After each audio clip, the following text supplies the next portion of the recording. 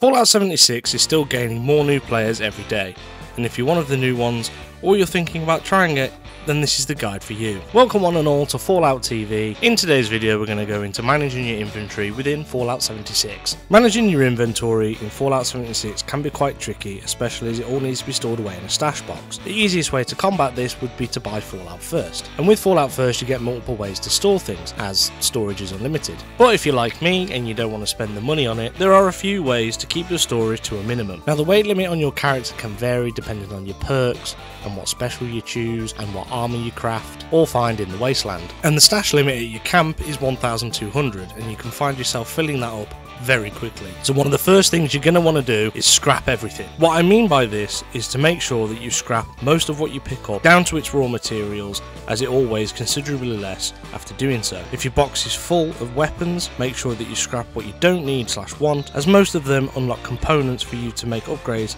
as you go along. Next on the list is carry weight.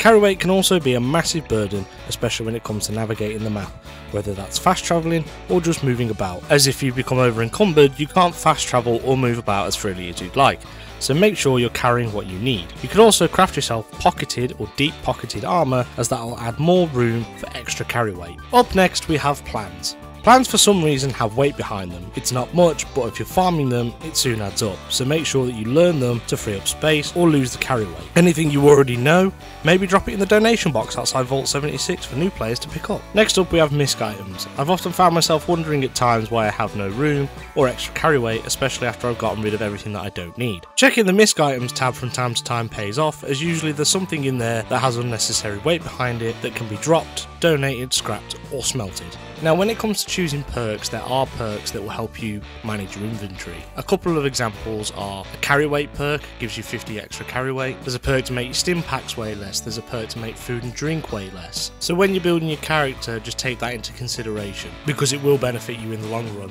to allow you to carry around more scrap, which then entitles you to be able to build whatever sort of camp you want and extra bits of armor and things like that. Power armor is another good example when it comes to inventory management. There are so many different variants of power armor within Fallout 76. You'll soon find yourself picking it all up, adding it to your stash box, keeping it on your person, and then before you know it, you've got no room left in your stash box, you've got no room left on your person because of power armor.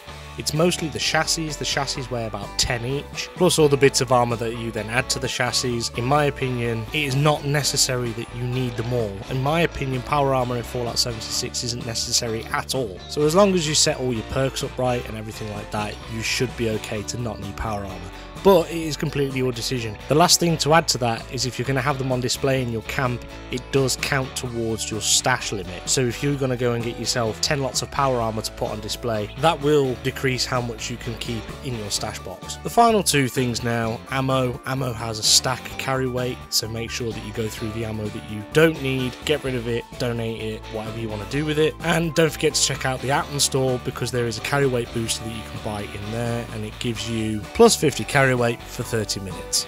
So I think that's everything from me. If you're an experienced player and you've watched this video and then you think there's anything I've missed, please don't forget to let me know in the comments and I'll go back and try and work it in into another video. I've been Fallout TV. Don't forget to like and subscribe to stay tuned into Fallout TV and I'll be back soon with another video. Love you all. Goodbye.